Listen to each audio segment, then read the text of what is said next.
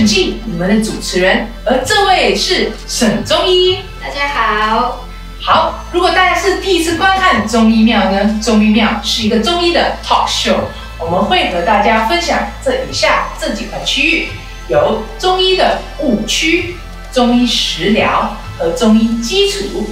而今天呢，我们会和大家分享中医食疗。中医食疗也是我们第一次做这个中医食疗的视频，然后就想让大家知道一下食疗到底是什么。到底是我们吃的东西吗？就每天吃的，还是我们随便煮煮一下、炒炒一下就算食疗呢？这个食疗就是我们煮的这就中医的食疗所所说的食疗，跟西医的营养学又有什么不一样呢？我们今天呢，只是有一个给大家有一个嗯，就是 introduction，就是只是先给大家了解一点点的食疗的基础啦。中医食疗所谓的。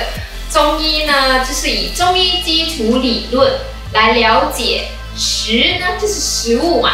疗呢，就是疗疗程疗程啊，疗效疗效啊，这一些都是食疗这一块。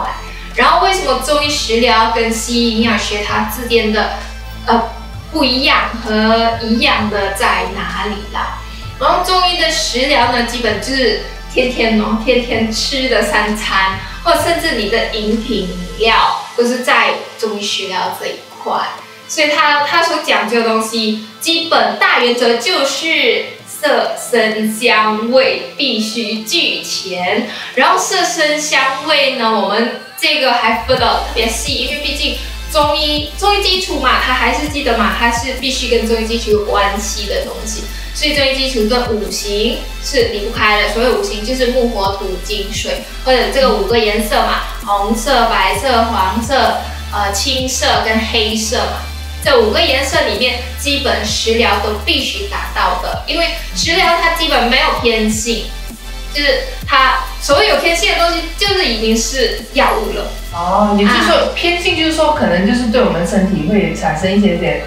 的那个不平衡啊，因为它是偏性嘛，它是它会造成你身体可能稍微偏凉啊、偏寒啊、偏热啊，所以基本如果说食疗嘛，就是让你延年益寿啊。预防疾病啊，呃，这真的都是食疗能达到的。而这个延年益寿，没有呃，就是健康预防这些疾病的当中，中医还是讲嘛一句中庸之道，所以它基本是没有什么偏性的，它五色五味都必须俱全的。所以中中医的食疗上面呢，它特别跟西医是很不一样的，因为除了五色五味啊，它还有归经，还有就是所谓的。啊，它的性质上面有温、寒、凉，还有热嘛。而这这些呢，可能在西医营养学就没有，它只是说，哦，这个 high in protein，in high in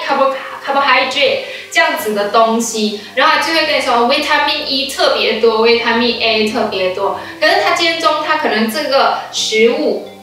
那你看嘛，基本每一个食物，或者说维他命 A 特别高的食物有一二三四。那为什么在什么情况下你要摄取这样一二三四个东西呢？它就在中医里面，我们就会特别分分的仔细说啊，你你说这个食这一道菜里面，它基本呢，哎，寒热东西也有，热的东西也有。那当然也有一些食物，它本身就是平性的，它平性呢就没有关系了，就不不需要特别再有加减乘除。那我们中医呢，它跟开药一样的嘛，它就是它基本它需要的都是。都是蛮全面的，它就不是可能单位的摄取说，哎，这个它特别高营养啊，什么营养这样子，所以这一食疗它基本很少是单位单位的一种食物，你你就特别去观看一下的时候，你就你分析一下的时候，你就没有看到中医在食物里面它是一道菜色，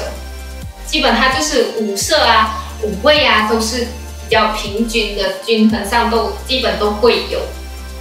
哦，所以就是讲说，因为就我们这边就可以看到，中医的食疗跟西医的营养学的共同点，就是因为可能两个都是希望大家可以就活得比较健康嘛，就是营养学也是让大家知道，哎，我们人是咱们人体要怎么健康，而食疗也是有同样的一个效果。但是他们不同于的地方就可能切入点跟方法吧，对不对？因为好像中医食疗你所讲到的就是那五行啊，然后那个什么啊五行，然后又阴阳之类平衡。对啊，因为这个食疗我们中医食疗还是以中医基础为为基就是为方。呃，原则啦，对，中医基础本来本身就是跟西医的基础上面的切入点本来就是有很大差距，因为中医还是以一个宏观的嘛，西医就是一个微观的，特别都是讲究比较微细的东西，而中医基本就是五脏六腑啊、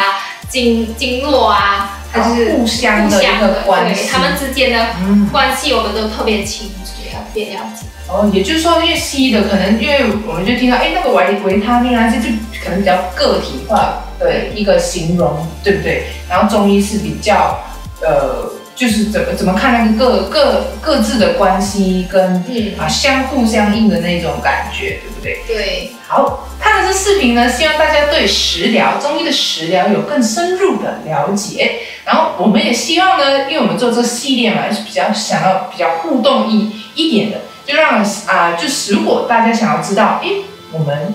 女生啊，可能可以在平时吃一些什么东西啊，美容啊、养颜之类的东西，可能我们在下一集也可以和大家分享。又或者大家可以问问问问一下我们的医师。对，如果你有什么想特别知道的，呃，在食疗这一块哈，你都可以留言，然后我都尽量可以就是分享一些知识给大家。嗯。就可能比较容易准备啦，又或者可能那些上班族啊熬夜之类啊，要怎么样可以从食疗方面来切入，让大家活得更健康。如果看了这影片之后呢，对大家有帮助的话，也记得分享给你朋友看看哦。谢谢大家收看中医妙，